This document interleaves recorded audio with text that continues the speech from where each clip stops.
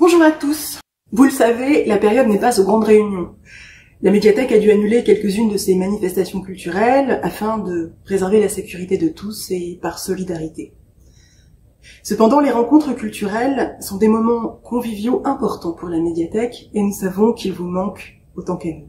Alors, ce n'est pas pareil et je sais que ce n'est pas comparable, mais pour pallier ce manque, je vous propose cette nouvelle petite chronique étymologie, histoire de garder le lien et de rester curieux ensemble. C'est parti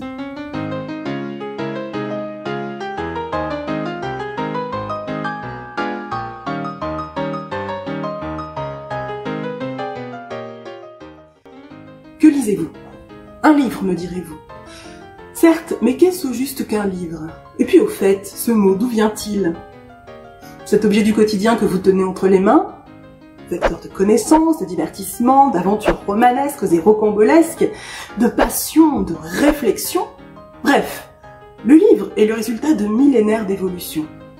La longue histoire des supports de l'écrit met tout à la fois en évidence la diversité des usages de l'écrit à travers l'histoire et l'emprise progressive du texte, c'est-à-dire du fond, sur le support. Ce qui fait du livre un bijou de la technologie humaine.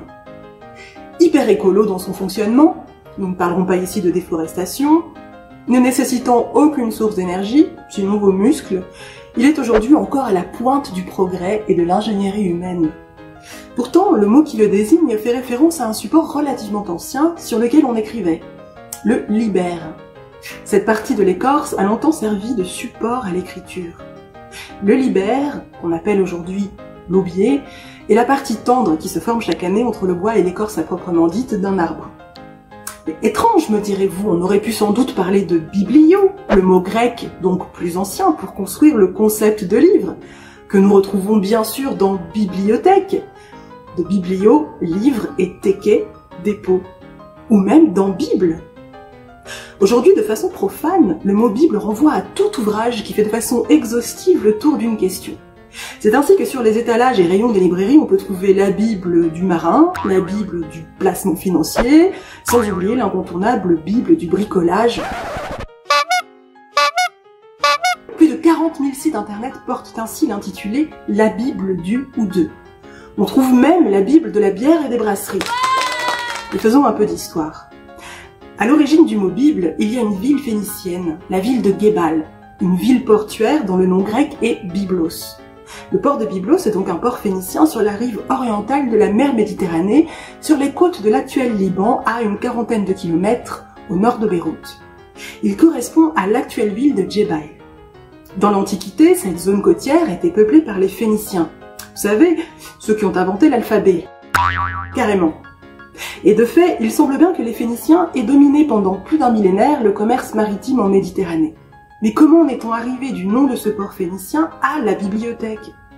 Eh bien, parmi les nombreux produits qui transitaient par le port de Byblos, que les marchands phéniciens transportaient jusqu'aux confins de la Méditerranée, il en est un, précieux, qui était une spécialité égyptienne, le papyrus. Le papyrus, c'est d'abord une plante qui pousse dans les zones marécageuses sur les rives du Nil. C'est avec la tige de cette plante découpée en lamelles que, dès le début du troisième millénaire avant notre ère, les Égyptiens confectionnaient des feuilles qui leur servaient de support pour écrire.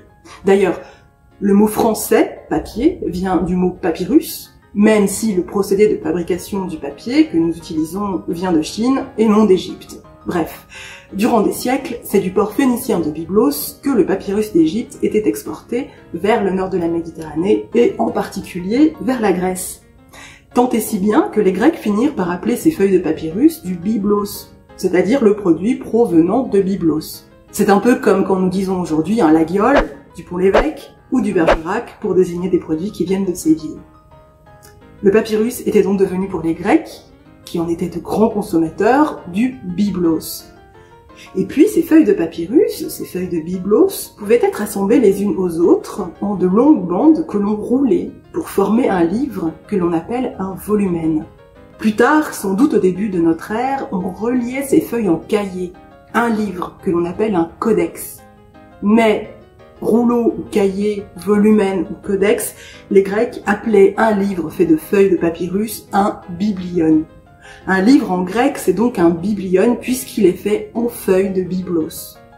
C'est aussi et surtout la période où le latin vient progressivement remplacer le grec, qui était jusqu'alors la langue véhiculaire de l'Antiquité.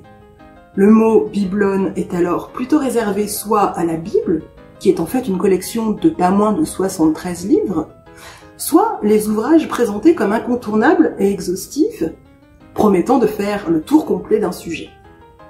C'est donc le mot latin, liber, qui a donné notre livre au sens large. Et d'ailleurs, à un hasard, si la racine de ce mot est la même pour désigner l'homme affranchi, drôle d'histoire que celle des.